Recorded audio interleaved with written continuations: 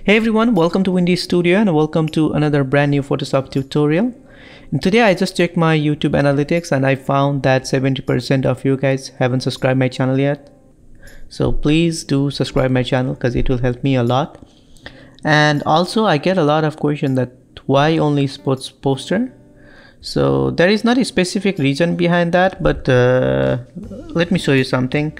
So this is what I do uh, I work as a sports poster designer uh, and by the way this picture were taken by a very talented sports photographer and his name is Hector Orozco. He is an awesome sports photographer and also an awesome guy so if you want to use him for any photography work please check on the description list below.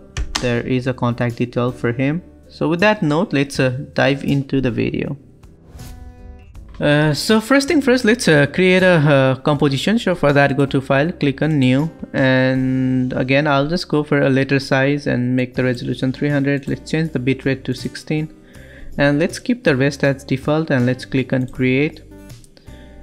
And first, let's uh, drag and drop uh, this image over here, and right click, convert it as a smart object. Control T. Let's make it a little bigger yep right around this size. And let's create a layer mask and let's uh, get rid of these parts. I don't want those parts. So let's remove this guy. Oh make sure the color is black. And let's remove those parts. And let's uh, drag and drop another cloud image over here and let's keep it all the way to the bottom. And let's keep it right over here. Now let's create a new layer and go to the brush. And let's go for a fog brush. And just a reminder this psd file and the brushes are available on my patreon page. And let's change the color kind of darker maybe more darker maybe something like that. And let's add some kind of fog right over here. And let's drop down the opacity just a little touch. Yep. And let's uh, drag and drop this image over here. So I already made a selection using pen tool and it's not a selection tutorial so I'll not cover that for now. So let's drag and drop over here. Yes. And let's convert it as a smart object too and control T let's make it a little smaller. Maybe right over this size. And let's create a layer mask and let's get rid of these parts. So go to the pen tool and let's uh, uh, draw some masks now make selection and let's fill it with black color control D alright now let's add a contact shadow on the bottom. So for that let's uh, create a new layer. Go to the brush and let's go for a general brush. And let's go for a dark color. And control T let's squeeze it and let's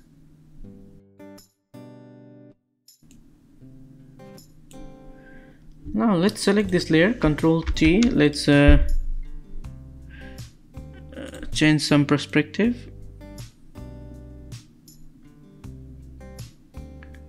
Yep maybe let's keep it something like that.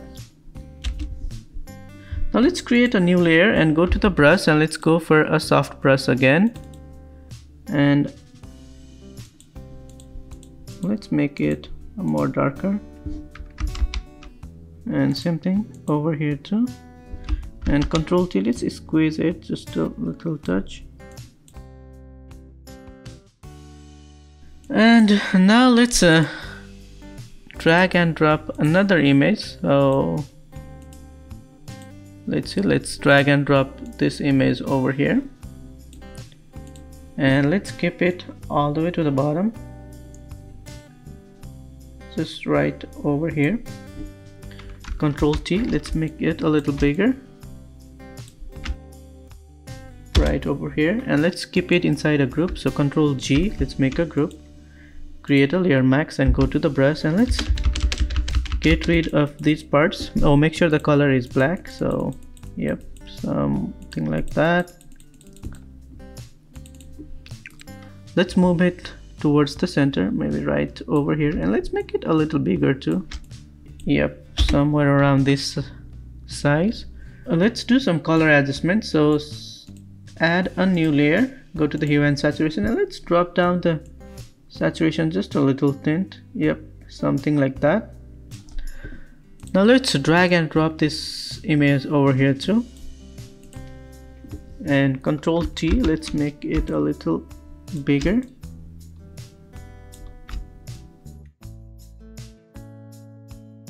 right over that side.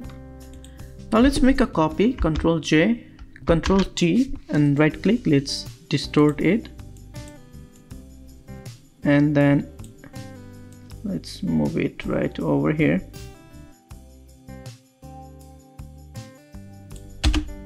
And let's add a color overlay.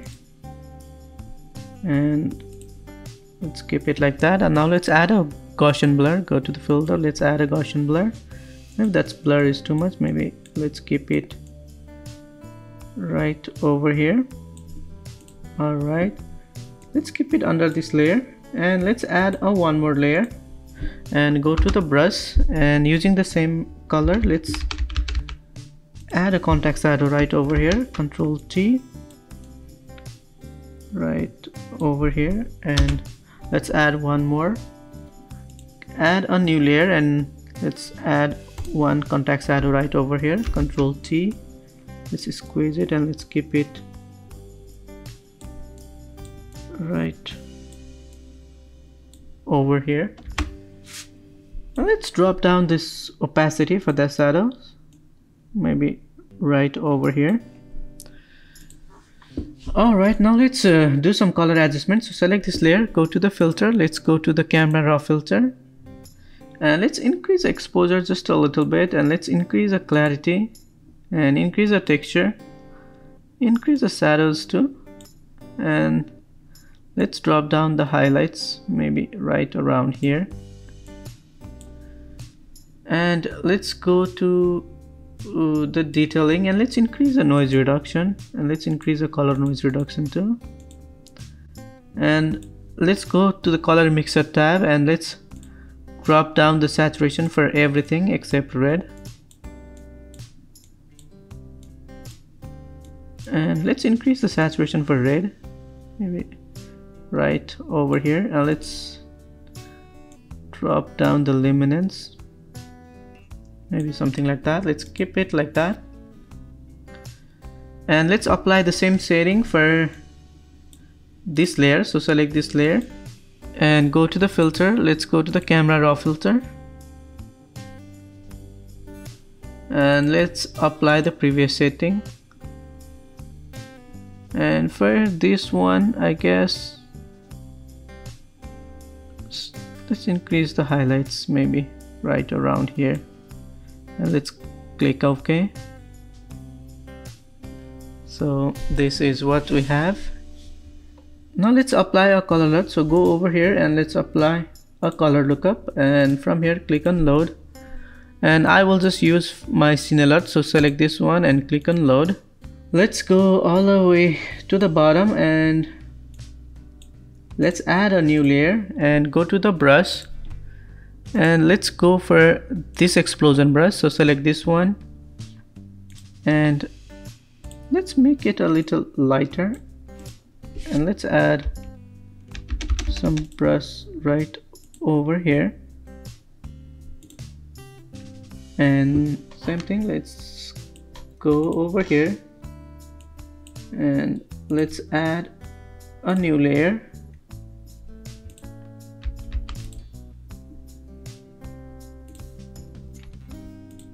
let's add right over here.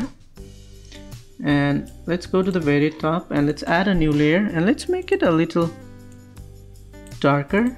And maybe let's add a few strokes right over here. And let's add a one more layer and let's make it a little lighter and let's add one right over here well, let's select this layer and let's drop down the saturation some more maybe right around here. And let's add a new layer and let's add some brush stroke in between these two layers. So let's add a rotation.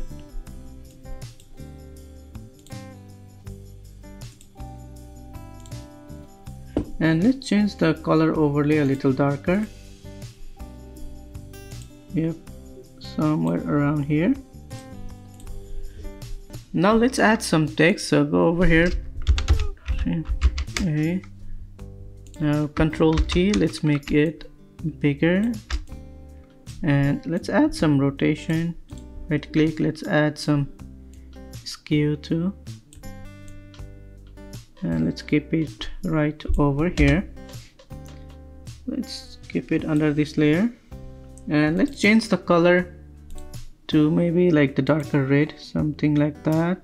Maybe more darker or yep. Something like that color. And let's rasterize this layer. And now select this layer and let's go for a lasso tool and let's make a random selection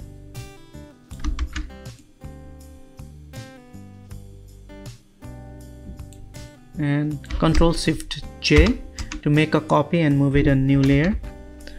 And let's move it right like that. And again let's add some more on this side. Control shift J. V let's move it a little up. And again select this layer let's add another chunk. Control shift J V let's move it maybe right over here. And let's add some other text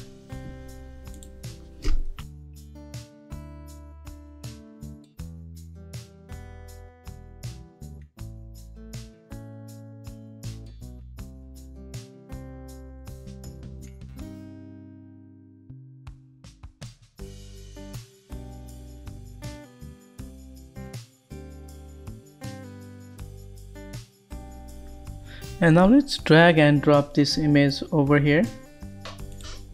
And let's change it to to overlay control T. Let's uh, make it a little bigger. And let's change the opacity just a little touch.